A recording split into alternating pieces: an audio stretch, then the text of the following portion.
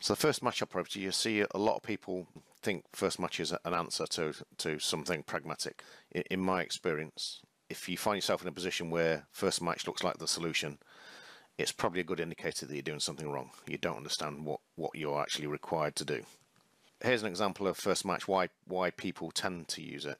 We'll first describe, you know, the, the, an implicit first match before we describe where it's actually used. So in this case, we've got a sequence called CD, and it's a variable length. Uh, we can have between one and three occurrences of C followed by D. Okay. So if I say E implies from the next cycle I observe this sequence CD, what I will see is if E occurs, then C must occur between one and two times here. Okay, so C occurs once there, and then D occurs. That property passes at cycle three. We don't hang around and wait to see if we get two C's or three C's followed by D. The property is passed. We have a conclusive result. So the behaviour we described has been observed. Therefore, the property is passed, and then it's then it's inactive now because we already have the answer. Okay, so we don't sit all around and wait for the, all the other times it might pass. Okay, so there's an implicit first match on the right hand side of every implication operator. Okay, so you, you know you don't even think about it because it's implicit.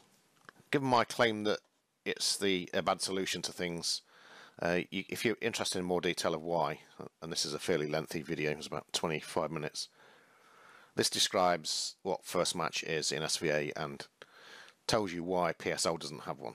Okay, so if you were to follow that link in your PDF, then you'll see the video um, which explains why. So well, actually, it's shorter than I thought. It's, it's only 15 minutes long. So I'd, I'd recommend you go. And, if you think first match is a good idea, I'd recommend you to go and watch that video. Okay, so let's see you know why people actually use this and think it's useful. So we've got the same code here basically, other than what we've done with this property here. We've swapped the uh, left-hand side for the right-hand side in terms of where we use first match. So this is where first match is the only place it could be useful is on the left-hand side of an implication. So the same sequence again, and let's see what happens. We've got two properties here which are the same apart from this one uses first match and this one doesn't. So let's follow through this property here. We've got uh, C occurring. Remember that's our uh, that's our sequence which is on the left hand side of implication now.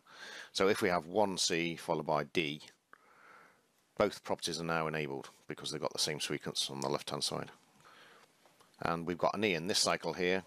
So this one here, the, the one with the first match, passes then terminates. That's the important thing. The first match means that once it's had the first match of this sequence, uh, then it doesn't continue trying to find other matches. Okay, so this property here, this one will terminate. Okay, so it's passed and then it will terminate, and we've got our answer.